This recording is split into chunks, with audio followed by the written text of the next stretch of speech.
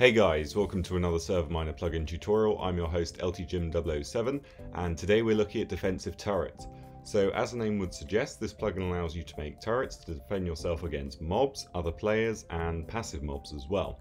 So it's a really well made and fantastic plugin, it's got loads of cool features. So what we're going to do is place down three blocks for each of the three different types of turrets and then have a look at what we can do with this plugin. So if we go up to this chest, which has all of the different turrets in, we can have a look. So there is the laser turret, there is the siege turret, and there is the burst turret. So as you can see, they all have different um, damages and different cooldowns, ranges, and you can also upgrade them individually. So it's pretty cool, they've got different features, each one of them. So we're going to go ahead and look at the commands now. So if we do forward slash dt help, that's going to get up the menu. And then if we do forward slash dt reload, if we've made any changes to the config. But if we do dt give burst and then my username, we will get the burst turret. If we do the same with laser, we'll get the laser turret. And then if we do the same with the final one, the siege turret, we are going to get all three.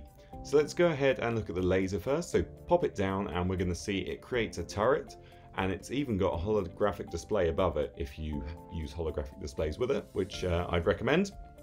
So if we right click it, there's a really cool GUI. So in the middle, we can go ahead and upgrade the turret, and in the top right, we can switch some options so we can tell it who we want it to, to attack and who we want it to ignore. So if I pop down a spider, for example, nothing is going to happen.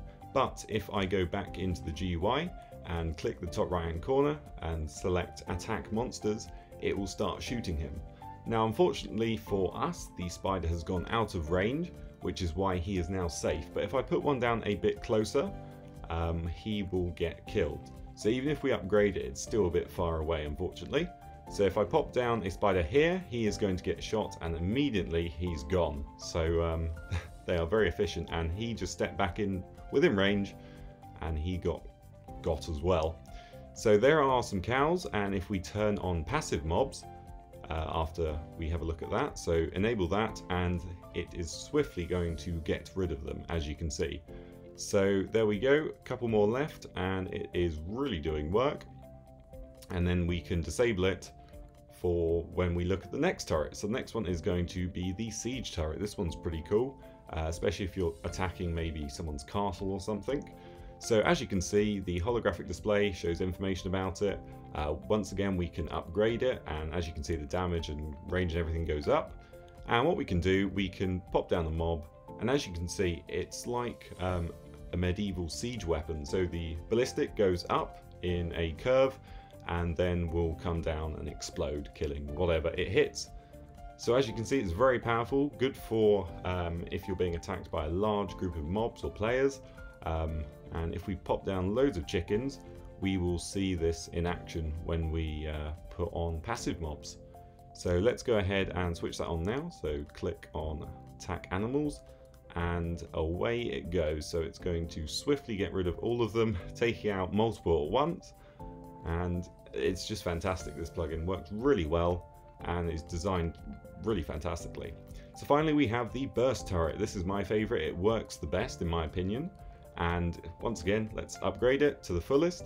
And if we turn off attack monsters and turn on attack animals, it's just going to mow them down like a machine gun. Absolutely, absolute carnage going on here.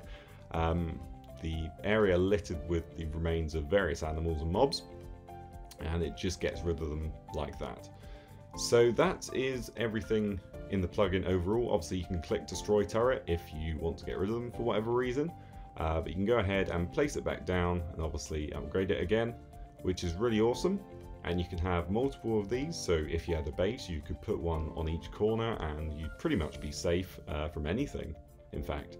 So if we were to switch all of them on and put down some mobs, they are not going to stand a chance. Look at that, they're just getting wiped out immediately. Uh, so uh, I feel kind of sorry for them, but uh, that is the plugin. That's um, a good showcase of it. It's really cool. Um, probably one of my favorite plugins I've seen this year, in fact. So that is everything in-game that we can do. Uh, very simple and just brilliant, really. So we are going to have a look at the config file and see what we can do in there as well. So here we are in the SMP control panel in the defensive turrets folder and as you can see there are three YML files and a folder.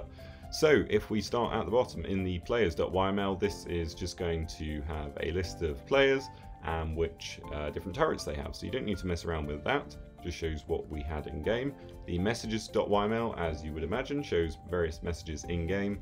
So it will also show the holographic information if you use holographic displays and um, it will show various options that are on and off and the different colors, etc.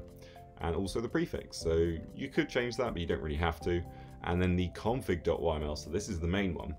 So in here, what we can do, we can enable and disable various things. So up at the top, we can enable turrets only when the owner is online. That could add an interesting dynamic.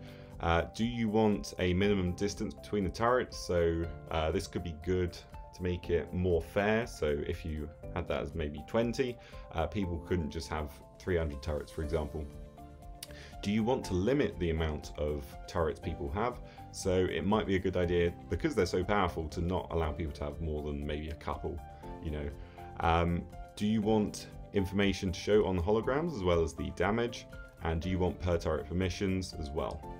Down here we have a couple of things about the GUI, so the back item, the turret options item, and the delete item. And do you want to protect turrets from explosions? Uh, yes or no? Probably yes to that.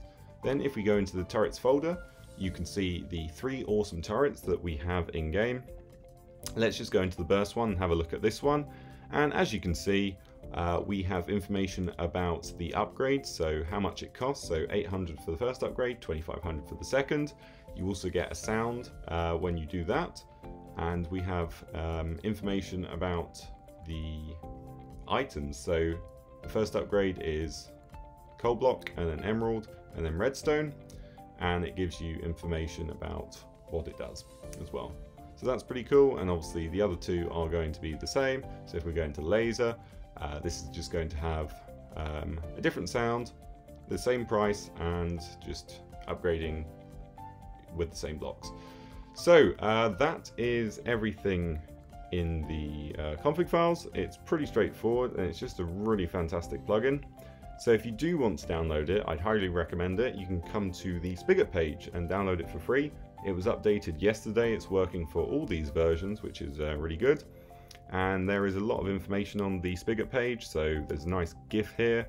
Um, you can see all of the stuff the developer has written on here, how to use it. Uh, you can even change the sounds, I think he's um, put information about, which is cool. You've got some permissions, so what you want the limit to be, and you've just got, you know, everything else. So various tutorials if you get confused. So that is everything on here. If you want a server to host it on, check out serverminer.com for the best and cheapest hosting around. If you want to check out more of my tutorials, they'll be uh, at the end of the video and also in the description. But that's it for me. Subscribe, like, comment, and I'll see you next time.